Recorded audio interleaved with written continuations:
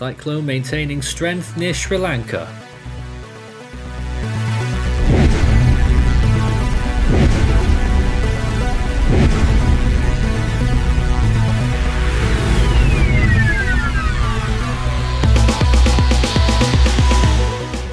Tropical cyclone continues to draw nearer to the uh, island of Sri Lanka and the southern coast of India. A tropical storm here with at least 60 mile per hour winds and a little bit stronger than what it was yesterday. 8.7 north, 84.3 degrees east is the current position as of 9:30 p.m. Indian Standard Time. Here it is right now, uh, 95 kilometers per hour sustained winds, a pressure of 994 millibars, still moving due west at 6 miles per hour or 10 kilometers per hour there. Uh, a tropical storm by the Saffir-Simpson scale at least, um, although none of the official agencies, the IMD or the JTWC, have uh, gone along with it yet. Here it is right now with its uh, 60 mile per hour winds and whilst the wind field's not displayed it's a fairly broad one um, and you can see just how close it's getting to some of these coastlines now. Currently it is 298 kilometers from Batticaloa, 329 from Trincomalee, 473 from Jaffna, 601 from Puducherry and 649 from Chennai. Uh, I expect that we'll be seeing warnings along those coastlines right now, with tropical storm force winds expected to impact the northern and eastern parts of Sri Lanka and then eventually on towards the Indian coast in the next 24 hours and beyond. We'll take a look at the models in a moment, but that's where we're standing right now. Let's take a look first at the primary hazards and that's really for flash flooding. It will get a bit strong winds but it's mainly the rainfall that will be the biggest hazard from this storm particularly considering the geography of the area and the storm's extensive cloud tops right now. Heavy rainfall may occur over a very large area of southern India and Sri Lanka with high rain rates leading to flash flooding in susceptible areas. General flooding threats will continue as this storm and its influence will, push through southern India through the weekend. Is what we're expecting then in the next few days, and you can see that wind field firstly increases and then starts to shut down later on on Thursday and Friday, and then as it moves in, making landfall somewhere near Chennai, will probably only be a tropical depression by then. Will should it should make, limp across the coastline and eventually dissipate somewhere inland over central southern India there. There's a tropical cyclone formation alert out from the JTWC on your left hand side, but our estimates already have it at 60 miles per hour, which is getting towards the high end of tropical storm status. IMD suggesting winds of 55 to 65 kilometers per hour, ASCAT a little bit more than that as well, and the AMSU satellite estimates are hovering around 55 to 60 miles per hour. So this system looks like it's much stronger than what the agencies are currently saying.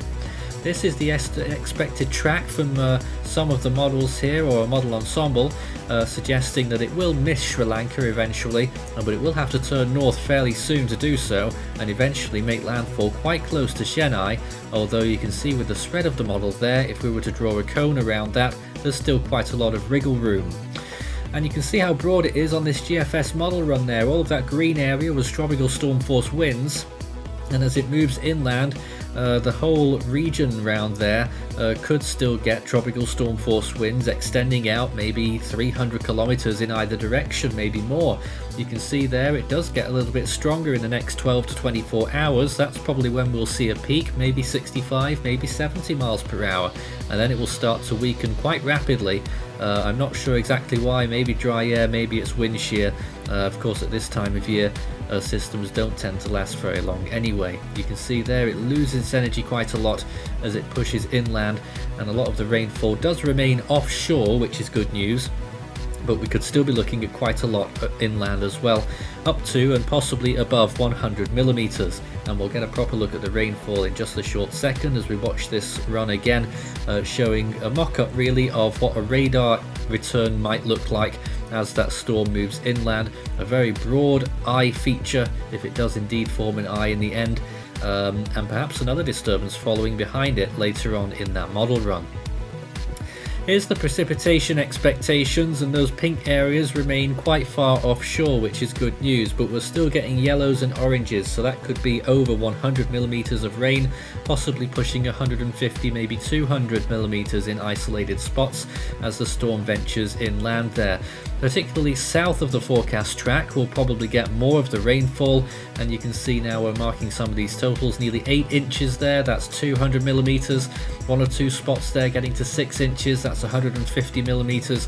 But north of the cyclone doesn't look like there's going to be a huge amount. Maybe maximums of 3 inches which is less than 100 millimeters. The northern tip of Sri Lanka should crack 100 but further south not as much Sea surface temperatures, unfortunately displayed in Fahrenheit, we usually use Celsius, but uh, the temperatures around the storm right now around 26 degrees Celsius, which is just enough needed for a tropical cyclone and it'll rise a little bit as it gets closer to the coast of India getting up to around 27 but nothing really very high. Uh, temperatures especially along the coast of India and western the further west these storms go start to simmer off a little bit and those temperatures decrease uh, but certainly where the storm is right now, it's got a chance at least of maintaining. And here is the latest satellite imagery, and this does reveal perhaps that wind shear is a factor, particularly on the east, sorry, the eastern side of the storm, as you can see on this imagery.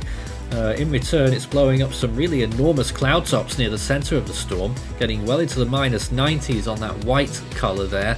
Uh, the dark yellows from the yellow colours there, that's minus 80s, into the white there, minus 90.